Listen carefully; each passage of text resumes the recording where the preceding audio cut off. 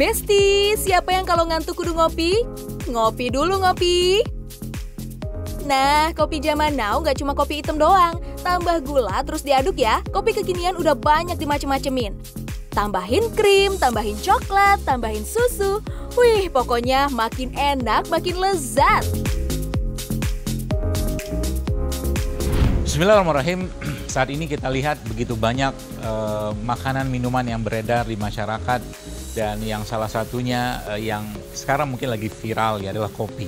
Mungkin Anda adalah penggemar kopi, tapi bicara tentang kopi kita juga perlu tahu dong uh, kira-kira ada apa di balik kopi yang mungkin sekarang begitu luar biasanya dibuat variasi rasanya bahkan warnanya. Namun di luar pada itu semua saya pengen kita juga belajar tentang uh, manfaat atau mungkin kebaikan dari kopi dan kira-kira efeknya apa jika berlebihan buat tubuh kita. Minum kopi kayaknya udah bukan sekedar untuk menghilangkan ngantuk saja ya Besti. Kini ngopi telah jadi bagian dari gaya hidup milenial. Tak heran ribuan gerai kopi tersebar bahkan menjamur hingga ke pelosok daerah. Hampir setiap saat kedai-kedai kopi penuh dengan pengunjung. Masing-masing dari kedai kopi pun berlomba-lomba menawarkan racikan andalan mereka. Kopi yang kita kenal sekarang berasal dari bahasa Belanda, kopi. Memang asal mula kopi di Indonesia dibawa oleh bangsa Belanda pada awal abad ke-17. Kopi yang dibawa adalah jenis Arabica dari India. Kopi ini sukses besar ditanam di Pulau Jawa hingga kemudian Belanda menanam kopi di semua pulau di Indonesia. Lalu sebenarnya apa sih manfaat kopi? Kopi itu sejatinya dia uh, banyak sekali manfaat dan ini sudah dibuktikan dengan berbagai macam riset ya. Uh, ada juga yang uh, yang menyebutkan tentang manfaat kopi atau mungkin yang meliti tentang manfaat kopi seperti dia mencegah Parkinson ya seperti itu. Kemudian juga bermanfaat untuk menguatkan jantung, mencegah diabetes ya. Kemudian juga dia juga punya fungsi sebagai pembakar lemak, bisa membantu menurunkan uh, apa berat badan ya. Banyak sekali yang bicara tentang kopi atau mungkin penelitian tentang kopi. Kopi adalah minuman stimulan yang mengandung kafein. Dan kafein dapat merangsang peningkatan energi, kewaspadaan, suasana hati, serta fungsi otak. Penelitian yang dipublikasikan jurnal Current Cardiology Reports membuktikan bahwa minum kopi secara rutin dalam dosis sedang tidak berpengaruh buruk terhadap kesehatan jantung. Minum 4 cangkir atau lebih kopi per hari juga disinyalir dapat menurunkan 20% resiko stroke dibandingkan dengan orang yang tidak minum kopi sama sekali. Mayo Clinic menyatakan bahwa terdapat beberapa studi yang membuktikan bahwa konsumsi kopi, baik yang mengandung kafein atau tidak, mungkin dapat menurunkan resiko terkena diabetes tipe 2. Kafein yang terkandung dalam kopi memiliki banyak efek positif pada otak loh Besti. Seperti bikin hati jadi mood dan mengurangi resiko depresi. Kopi juga bisa digunakan sebagai pencahar, sampai-sampai muncul sebuah terapi yang disebut dengan enema kopi, yang ditujukan untuk mencuci bersih semua isi perut dari sisa makanan. Enema kopi dipercaya dapat membantu menyembuhkan sembelit. Jadi, ketika usus terasa tersumbat akibat sisa makanan yang sulit dikeluarkan, kopi organik diseduh kemudian dimasukkan ke dalam usus besar melalui anus. Selanjutnya, cairan kopi yang telah mencapai usus besar akan merangsang gerakan mendorong dalam usus yang membuat sisa makanan keluar. Kopi tadi dia dia juga bisa mengikat lagi uh, mukoid mukoid atau mungkin lemak-lemak uh, bukan lemak sih tapi sisa-sisa dari uh, feses yang uh, tidak keluar katakanlah yang itu dengan kopi tadi ditarik katakanlah keluar sehingga itu bisa melegakan membersihkan uh, saluran pencernaan. Dan itu uh, sebagaimana kita ketahui sebagian besar penyakit-penyakit itu bermula dari buruknya pencernaan. Sehingga enema kopi atau hidrokolon terapi itu itu bisa sangat bermanfaat untuk eh, orang-orang uh, yang memang ada masalah di pencernaan. Wah, banyak juga manfaat kopi ya, Besti. Tapi ingat, semua manfaat kopi yang dijabarin tadi, kalau kopinya kopi hitam, belum ditambahin banyak rasa-rasa, seperti yang terjadi pada kopi-kopi kekinian. Karena bila tidak diolah dengan baik, kopi justru bisa jadi bumerang bagi penikmatnya. Kopi memang secara sifat dia punya karakter asam yang cukup tinggi ya sehingga mungkin ada beberapa orang yang memang kondisi asam lambung memang tidak stabil atau tidak tidak normal itu memang ketika minum kopi itu sakitnya minta ampun ya. Nah makanya uh, ini perlu disiasatin ya. Pertama bagi memang yang ada riwayat uh, apa tubuhnya atau lambungnya bermasalah dengan asam lambung memang kurang disarankan minum kopi.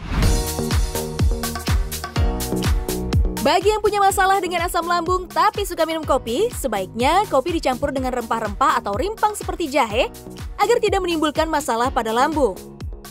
Selain itu, juga bisa diatasi dengan banyak minum air putih atau buah-buahan untuk menetralisir asam dari kopi yang diminum. Syarat kedua adalah tidak berlebihan.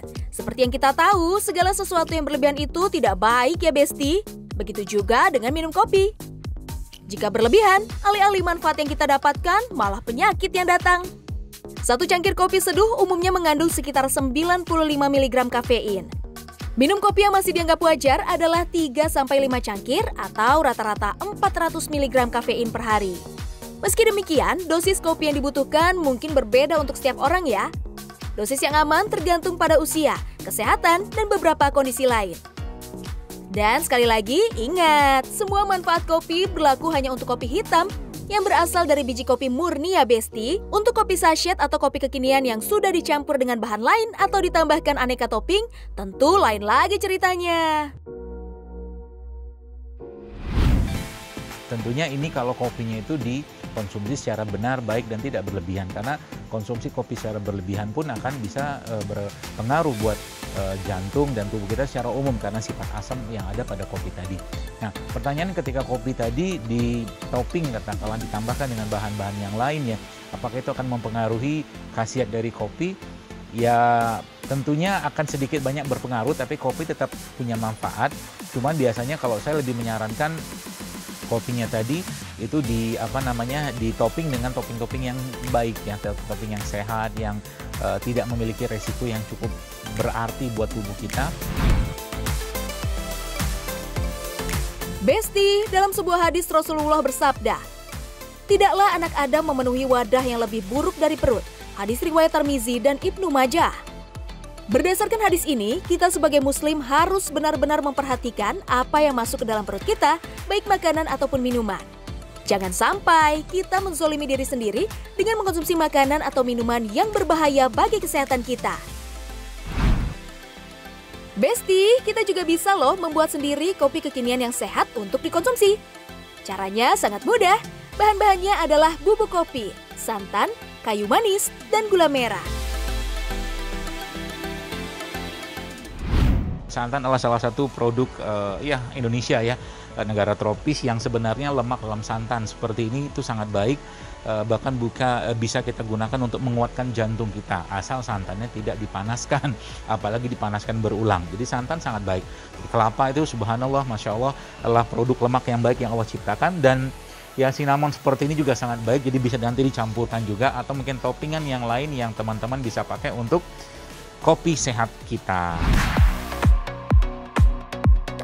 Yang pertama harus dilakukan adalah menyeduh bubuk kopi dengan air panas. Setelah kopi diseduh, kemudian masukkan santan ke dalamnya. Santan digunakan sebagai pengganti susu karena relatif lebih sehat. Tapi santannya harus santan segar yang diperas langsung dari kelapa ya. Untuk memberikan rasa manis, masukkan gula merah atau gula aren. Dan terakhir, supaya aromanya lebih sedap, kita tambahkan kayu manis. Nah, selesai deh kopi sehat kita. Rasanya 11-12 kok sama yang ada di kedai kopi kekinian.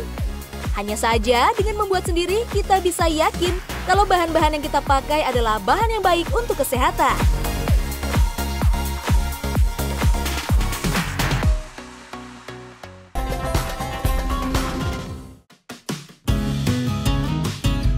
Besti, tak terasa 30 menit sudah kita membahas seputar kesehatan dan manfaat. Semoga menjadi tuntunan yang baik untuk kita semua. Insya Allah. Tetap saksikan Sehat ala Nabi setiap Senin sampai Jumat sepanjang Ramadan. Sampai jumpa.